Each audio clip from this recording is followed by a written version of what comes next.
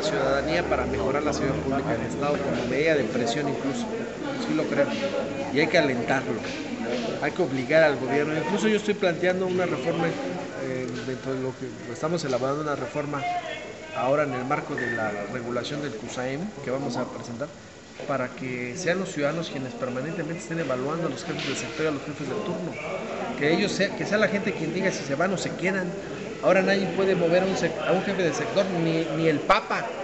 Nadie los mueve de su... Hay, hay jefes de sector que han estado ahí 20 años, 10 años en ahí, porque tienen arraigada la corrupción en sus zonas que no hay poder humano que los pueda quitar.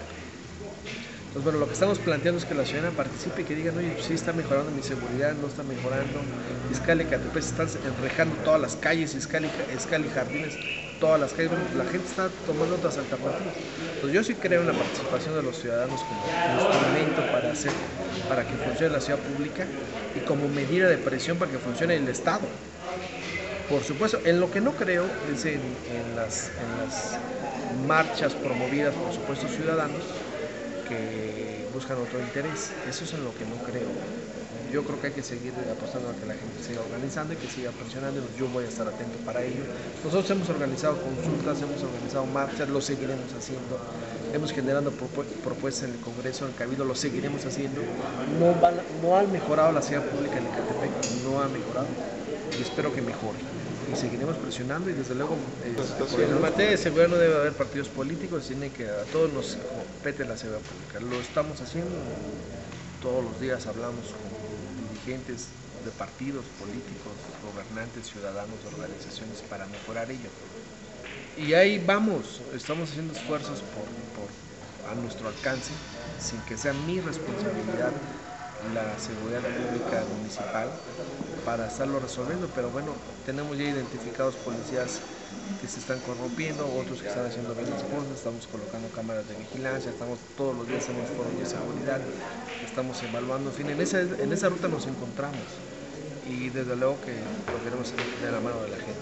¿Tú convocarías a la ciudadanía que se organice para que...? Sí, todos los días lo hago, nos organizamos. Y en este momento para que en todos los 125 municipios se, se unifiquen y hagan una fuerza única. No para crear policías comunitarias, no para, no para estar poniendo en riesgo la vida de los ciudadanos, no. Los convoco a organizarnos, a exigir a las autoridades, a vigilar si funcionan o no, a generar ideas, a generar planteamientos al Congreso para que funcione la seguridad en nuestro Estado. A eso los convoco a todos los ciudadanos del Estado. es que nosotros ya lo hicimos, nosotros ya protestamos, nosotros ya hicimos una gran consulta a los ciudadanos para mejorar la seguridad.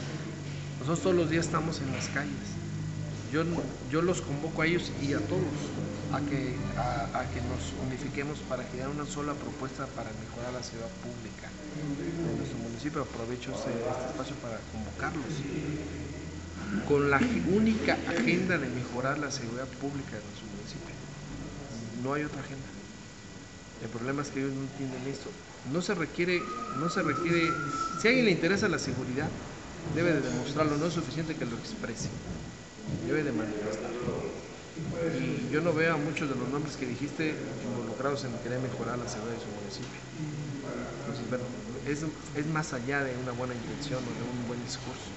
Se trata de demostrar cosas, organiza a los compañeros en tu calle para empezar a hacer cosas para mejorar la seguridad, empieza a hacer foros, empieza a exigir.